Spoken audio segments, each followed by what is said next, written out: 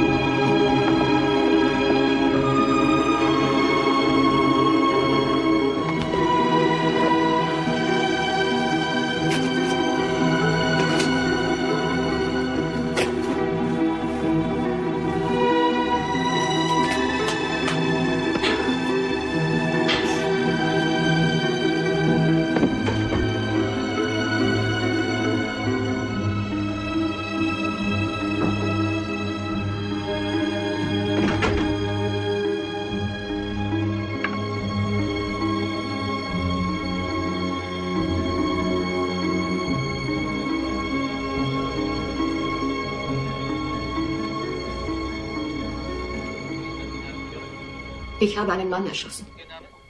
Stéphane Fevrier. Wo? Hier bei uns, Chateau Marbusé.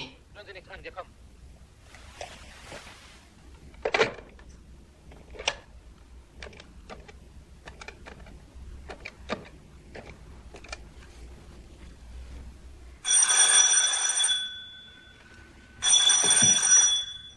Hallo? Bonjour, Madame Fevrier.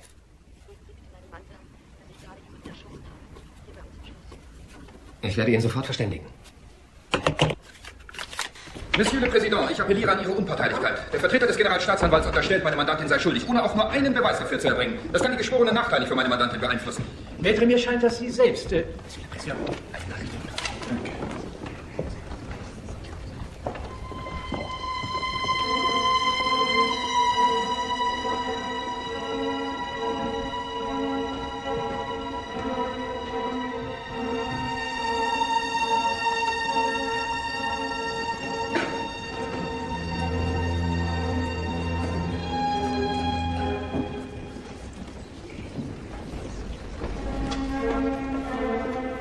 ist geschlossen. Wir setzen die Verhandlung morgen fort. Um 14 Uhr.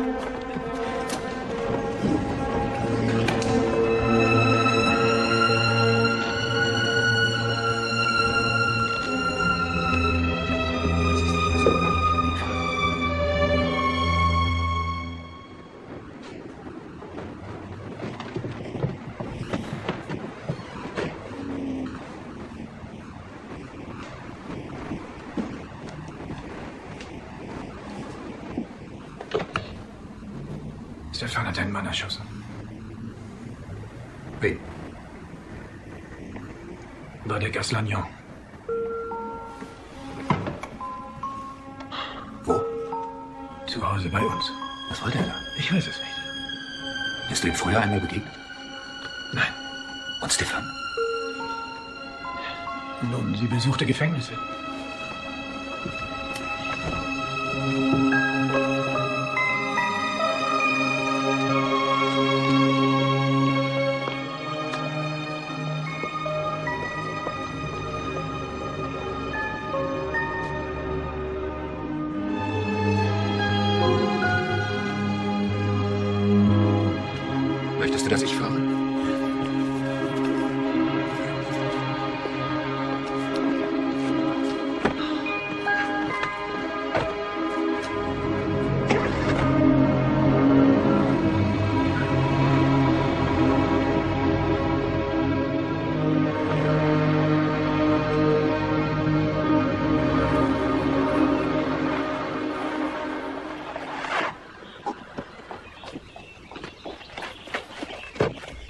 Madame? Auf dem Zimmer.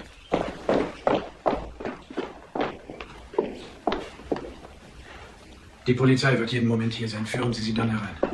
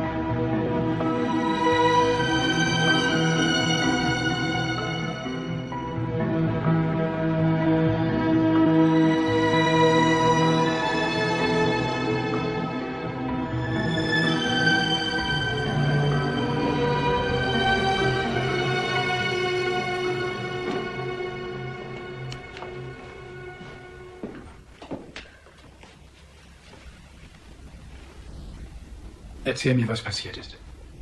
Er wollte mich vergewaltigen. Wie kommt er in dieses Haus? Die Polizei wird jeden Moment eintreffen. Was hat er hier zu suchen? Woher kennen Sie Aslanjon? Durch meine Arbeit in einer Wohltätigkeitsorganisation. Letztes Jahr waren wir eingeladen, das heißt einige von uns, zu einer Theateraufführung in einem Gefängnis. Gab es noch andere Gäste? Ja, darunter sogar zwei Filmstars. Es hat allen gut gefallen. Ich wusste nicht, dass das Lanyon der Autor und Regisseur war. Ich beglückwünschte ihn zu seinem Erfolg.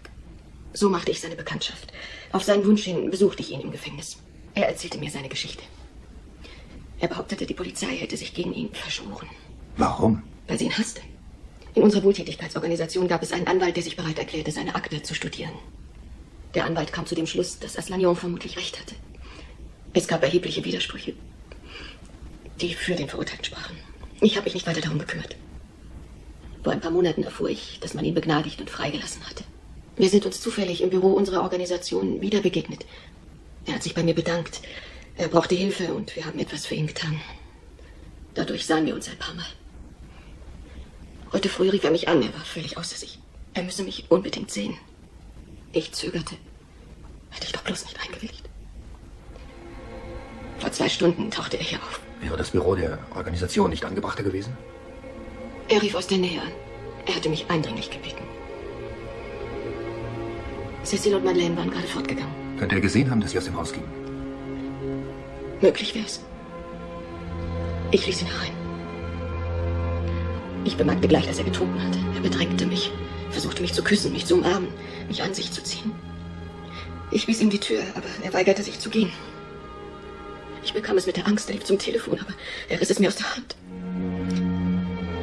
Ich versuchte zu fliehen. Ich schrie. Er lachte nur. Er fiel über mich her. Er würgte mich und schleppte mich ins Schlafzimmer. Er schlug mit Fäusten auf mich ein. Dann warf er mich aufs Bett. Versuchte mich zu vergewaltigen. Ich wehrte mich, es nutzte nichts. Da fiel mir ein, dass in der Nachttischschublade ein Revolver lag. Ich griff danach und schoss. Bis das Magazin leer war. Er muss längst tot gewesen sein, als Sie noch immer auf ihn schossen. Ich wusste nicht mehr, was ich tat. Sie haben die Kleider gewechselt. Ich kam mir beschmutzt vor in den anderen. Trugen Sie Strümpfe? Strumpfhosen? Unterwäsche? Ich hätte sie fast ins Feuer geworfen vor Ekel. Ich habe blaue Flecken. An den Brüsten Wollen Sie sie sehen? Konnte er die Vergewaltigung verwenden? Kam es zur Penetration? Es gelang mir, ihn vorher zu töten. Hätte ich das noch abwarten sollen? Paul muss beweisen, dass deine Reaktion der Bedrohung angemessen war. Verzeihen Sie mir.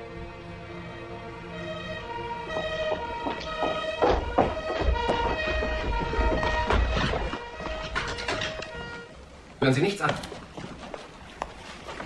Bonjour, Monsieur. Das bitte. Er ist tot. Todesursache mehrere Schusswunden. Monsieur, ich bedauere, dass wir uns unter solchen Umständen wiedersehen. Madame. Chef, sehen Sie mal, wen wir hier haben.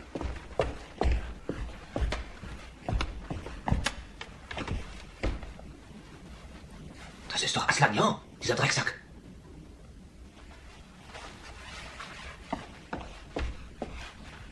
Sie erklärten vorhin am Telefon, diesen Mann hier getötet zu haben? Ja, Nehmen Sie ein paar Kleidungsstücke mit. Sie bringen mich ins Gefängnis. Erstmal aufs Polizeirevier zum Verhör. Dann kommen Sie in Untersuchungshaft. Und später? Darüber entscheidet der Untersuchungsrichter oder sein Stellvertreter. Darf mein Anwalt Maître Delors mich begleiten? Nicht in diesem Stadium der Untersuchung, Madame. Legen Sie mir Handschellen an.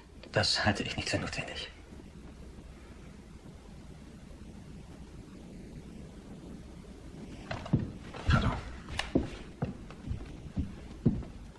Er hat versucht, deine Mutter zu vergewaltigen. Bitte bringen Sie sie auf ihr Zimmer. Komm, Cecile, komm.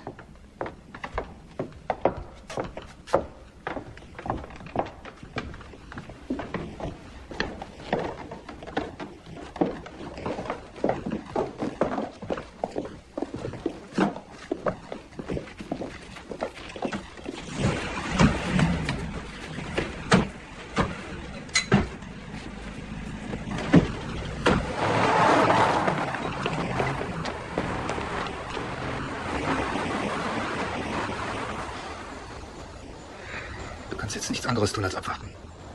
Kosten spielen keine Rolle. Tu, was nötig ist. Veranschlage als Honorar, was du für angemessen hältst. Wir müssen so schnell wie möglich einen Freispruch erreichen. Endlich wird das Familienvermögen mal für was Nützliches verwendet.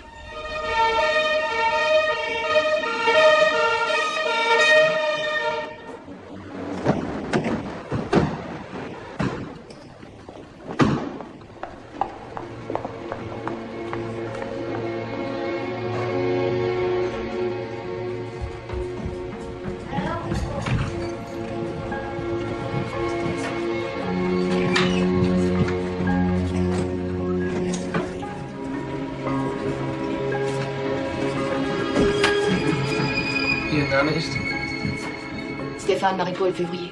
Mädchenname Perrier, geboren in Paris. Ich wurde sehr früh Waise. Meine Großmutter hat mich großgezogen, Chao. Schulen? Nach dem Abitur habe ich Jura studiert. Als meine Großmutter starb, hinterließ sie mir ein kleines Erbe, aber ich musste, um mein Studium beenden zu können, hart arbeiten. Wie haben Sie Ihren Mann kennengelernt? Sein Bruder ist Chirurg. Ich hatte einen schweren Autounfall, man hatte mich in seine Klinik gebracht. Er pflegte mich wieder zusammen. Eines Tages begegnete ich dort in der Klinik seinem Bruder Georges. Wir verliebten uns ineinander. Voilà. Sie haben eine Tochter? Cécile, sie ist 16. Sie ist in der Abschlussklasse von Sainte Marie. Wo sind Sie Aslanian zum ersten Mal begegnet? Im Gefängnis. Und Sie haben ihn da herausgeholt? Nicht ich. Der Anwalt unserer Organisation. Madame, ohne es zu wissen, wurden Sie ein Werkzeug Aslanians. Er führte Krieg gegen uns. Und trotz der großen Wertschätzung, die wir Ihrem Mann entgegenbringen, mussten wir Sie hassen. Doch für das, was Sie heute getan haben, wird Ihnen viel, sehr viel vergeben werden.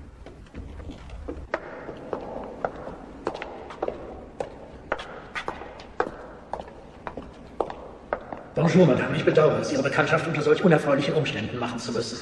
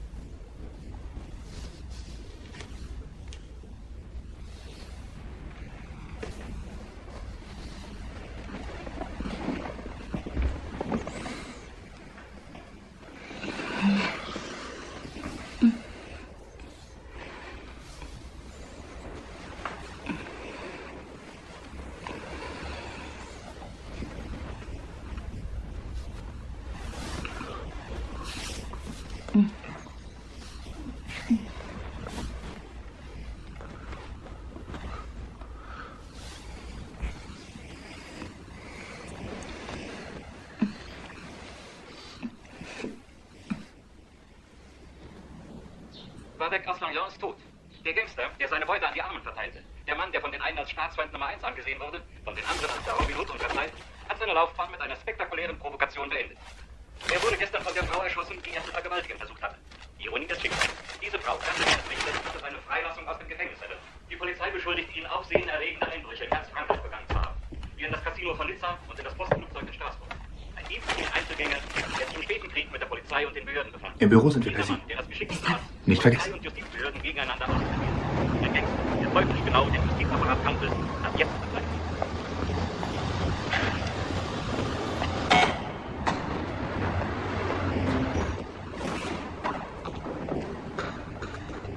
Hier, ich habe einiges für Sie notiert. Danke.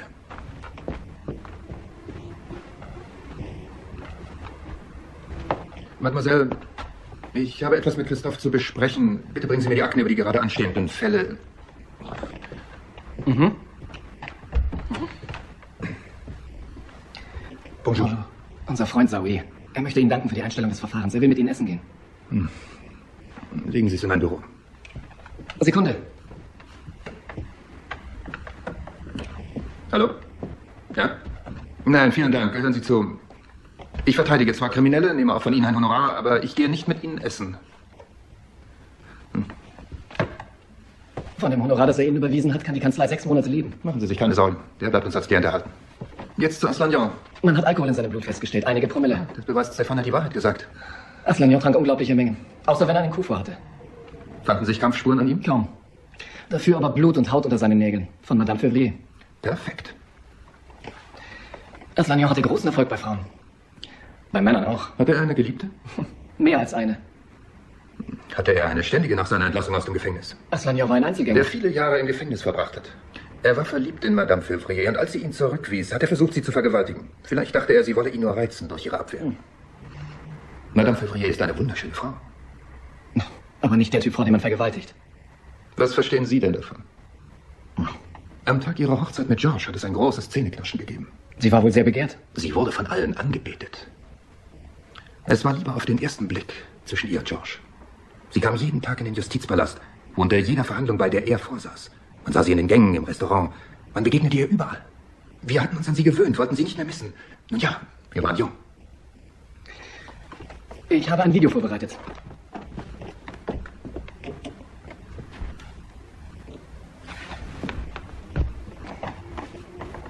Die erste Reportage wurde vor einem Jahr gemacht. Die Bullen wollen mir einen Bruch anhängen, den ich nicht begangen habe. Sie haben mir eine Falle gestellt und ich bin reingekommen. Gratuliere, meine Herren Polizisten. Sagt euren Vorgesetzten, dass sie ihre Hunde gut abgerichtet haben. Aber der Krieg ist noch nicht vorbei. Das hier hat noch ein Nachspiel, das verspreche ich euch. Jetzt folgt ein Interview, das er einer Journalistin vor seiner Verhaftung gegeben hat. Was halten Sie von den Gesetzen? Ach, die Gesetze. Die Gesetze tragen der menschlichen Feigheit Rechnung. Die Geschichte lehrt uns, dass die Gesellschaft nicht aus Gerechten und Ungerechten besteht, wie uns die Philosophen und Dummköpfe weismachen wollen, sondern aus Herren und Sklaven. Die hohen Priester sind die Kapitalisten und ihre Bankiers. Und ihre Propagandisten, ihre Helfershelfer sind die Medien und die Lehrer. Und die Bullen sind ihre Wachhunde. Dazu gehören auch die Richter. Sie geben einen Teil Ihrer Beute den Armen. Welches Verhältnis haben Sie zum Sozialismus? Gar keins. Nicht wirklich. Jede Form von Sozialismus ist nichts weiter als pervertiertes, maskiertes Christentum. Man hat lediglich das Paradies durch eine verheißungsvolle Zukunft ersetzt. Das Paradies auf Erden. Zwischen Geburt und Tod spielt sich die Tragödie des Lebens ab. Und das war's dann. Ich darf Ihnen etwas von mir zitieren. Die Unsicherheit der Existenz ist nur ein Schleier, der die fundamentale Tragödie unseres Seins verhüllt. Das, das ist mir im Gefängnis eingefallen. Dass Sie die Beute mit den Armen teilen, ist also reine Public Relation? Nein, nein. Ich möchte mich an nichts binden. An nichts. Niemals. Doch ich stehe immer lieber auf Seiten der Opfer. Daher die Sympathie, die er vor einigen Jahren in linken Kreisen genoss. Da gibt's noch was. Ja? Das kam anonym. Wenn Sie die Wahrheit über Stéphane Fevrier interessiert, beginnen Sie mit Gérard Dumas, Rue d'Alsace 23, Pont de Saint-Estèphe. Ein pensionierter Richter. Ihm war der Strafvollzug unterstellt. Sie wollen dem nicht nachgehen? Wenn man alle anonymen Schreiben ernst nehmen wollte. Gewöhnlich sind derartige Briefe an die Polizei gerichtet oder an Richter. Nie an Verteidiger.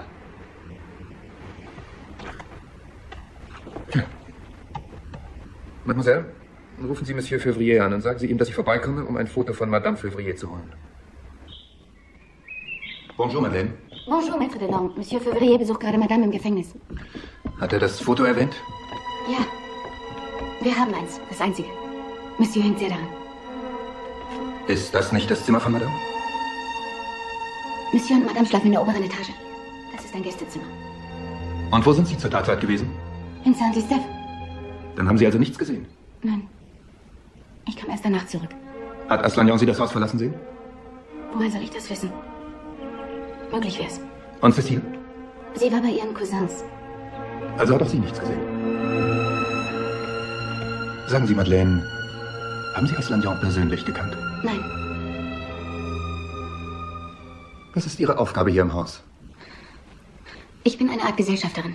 Ich kümmere mich um Mademoiselle Cécile und vor allem um Madame. Wer hat Sie eingestellt? Madame. Wie lange sind Sie schon hier? Schon über 16 Jahre. Ich kam kurz vor der Geburt von Mademoiselle Cécile. Da waren Sie noch sehr jung. Ja? Und Sie hatten nie den Wunsch, woanders zu arbeiten oder etwas anderes zu tun? Nein. Sind Sie verheiratet? Nein. Haben Sie Kinder? Nein. Einen Freund? Nein. Ich hole jetzt das Foto. Ich will Sie bleiben. Wie Sie wollen.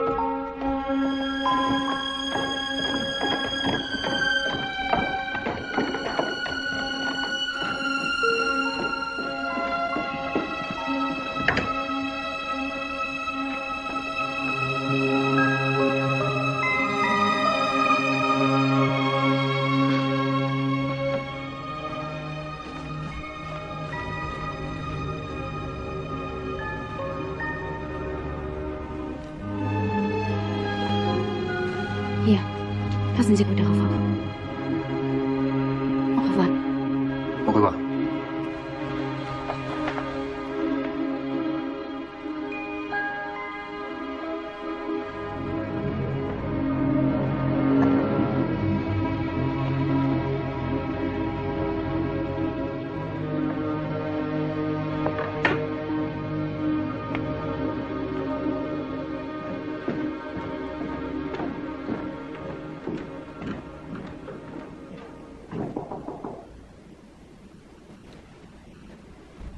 Bonjour, Cécile. Sie zeigen heute nicht gerade Ihr Sonntagsgesicht. Mag sein. Aber haben wir heute Sonntag? Darf ich Ihnen ein paar Fragen stellen? Soll ich Ihnen von meiner Mutter erzählen? Nein, ich möchte, dass Sie mir etwas von sich erzählen. Das dürfte kaum interessant sein. Oder nützlich. Meine Mutter gab mich schon sehr früh in ein Internat. Das Institut St. Marie. Das ist ein sehr strenges Internat. Und die Mädchen aus gutem Hause erhalten in dem Institut eine gute Erziehung. Ich verbrachte dort fast meine ganze Kindheit. Die Ferien in England, den Vereinigten Staaten oder in Deutschland. Ich spreche fließend mehrere Fremdsprachen. Und als wohlerzogene höhere Tochter habe ich gelernt, niemals gewöhnliche Gefühle zu zeigen, insbesondere, insbesondere niemals Kummer und Schmerz. Das ist geschmacklos für Menschen von Welt. Und überhaupt, warum sollte ein junges Mädchen wie ich leiden? Sagen Sie mir, lieben Sie Ihre Mutter? Sie ist auf meine Liebe nicht angewiesen. Sie hat alles Leben in mir erstickt, mir meinen Vater vorenthalten. Ich war immer allein, zu meinem Besten. Ich hasse sie, wie man in unseren Kreisen eben hasst. Die Form wahrend, mit lächelndem Gesicht, in aller Höflichkeit.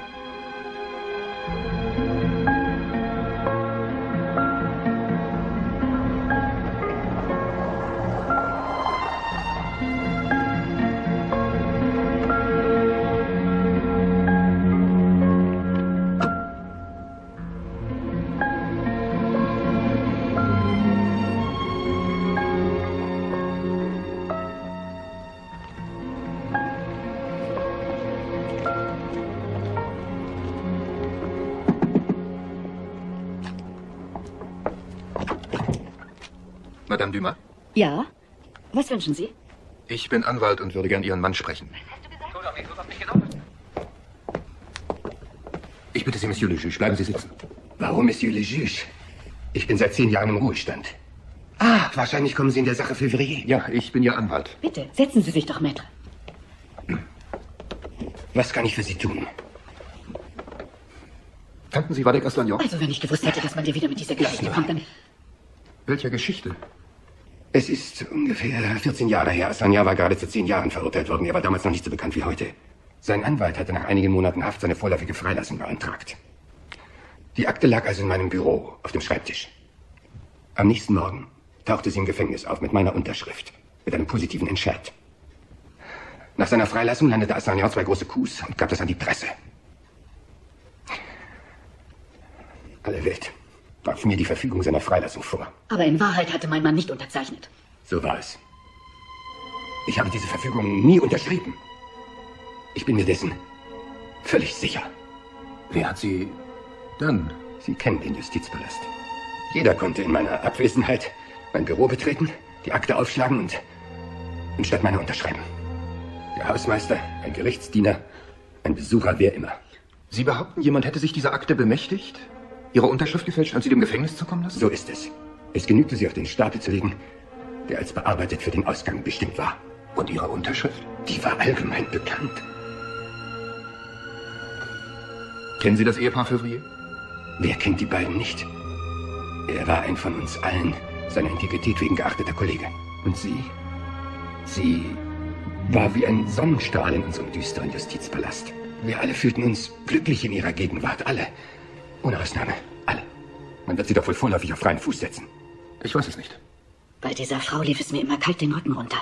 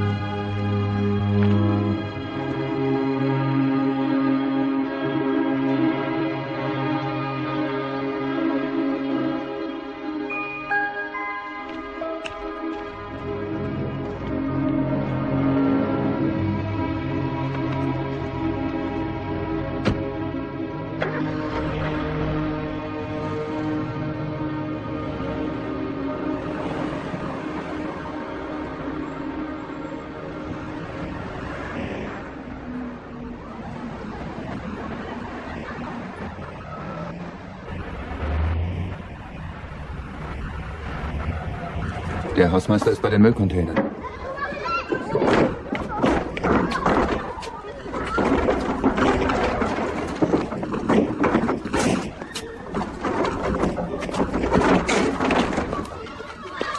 Monsieur, einen Augenblick bitte. Sekunde.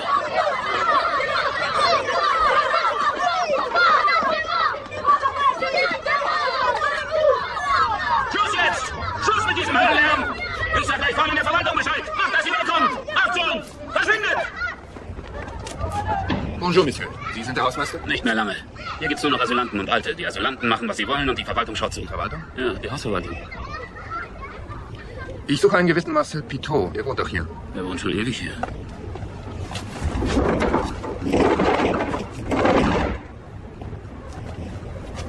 Was wollen Sie denn von ihm? Sind Sie ein Bull? Nein, ich möchte nur eine Auskunft von ihm.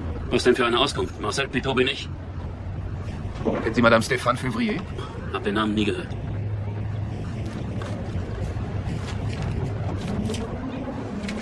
Haben Sie diese Frau schon mal gesehen, die Blonde? Sehe ich so aus, als würde ich mit solchen Leuten verkehren? Weder die eine noch die andere sagt Ihnen was? Nein, gar nichts. Ich will nicht unhöflich sein, aber ich muss wieder an die Arbeit.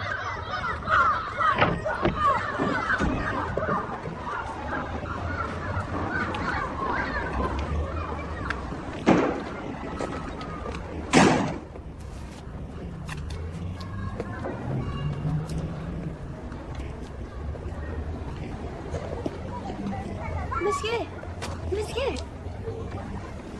Was willst du denn, meine Kleine? das ist für Sie. Für mich? Ja, Wer hat dir das gegeben? eine Dame. Wie sah sie aus? Alt. Alt? Wie alt? Wie die Frau dort? Nein, das ist doch eine Großmutter. Sie war älter als mein Bruder. Und wie alt ist dein Bruder? 15. War sie hübsch? Sie trug eine große Sonnenbrille. Was hatte sie an? Lassen Sie mich, ich muss wieder weg. Sag mir, wie sie angezogen war.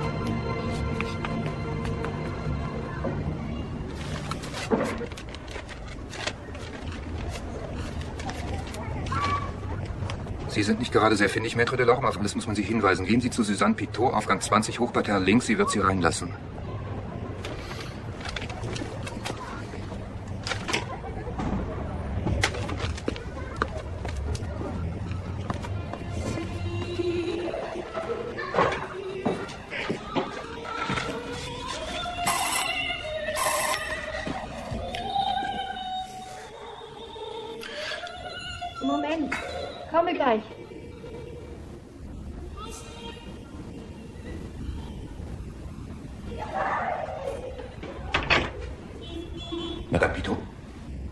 Was wünschen Sie, junger Mann?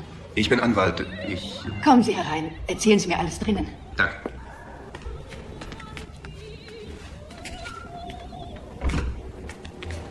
Sie erlauben? Nein, nein. Ich muss es ganz allein schaffen. Meinem Sohn wäre das gar nicht recht. Er ist der Hausmeister und wohnt gleich nebenan. Er kümmert sich um mich. Was von mir noch übrig ist. Man sollte nicht alt werden.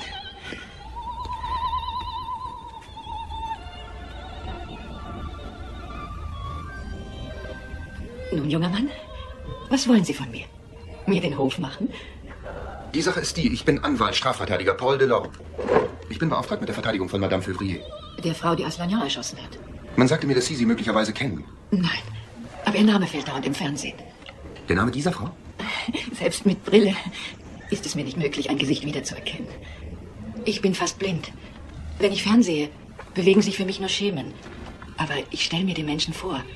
Ich höre ihre Stimmen. Ich fürchte, ich kann ihnen nicht helfen. Hatten Sie jemals mit dem Gericht zu tun? Nein, Kannten Sie Wadek Aslanian persönlich? bedauerlicherweise nicht. Er war eine Hoffnung für Menschen wie uns. Ich habe einmal ein Foto von ihm ausgeschnitten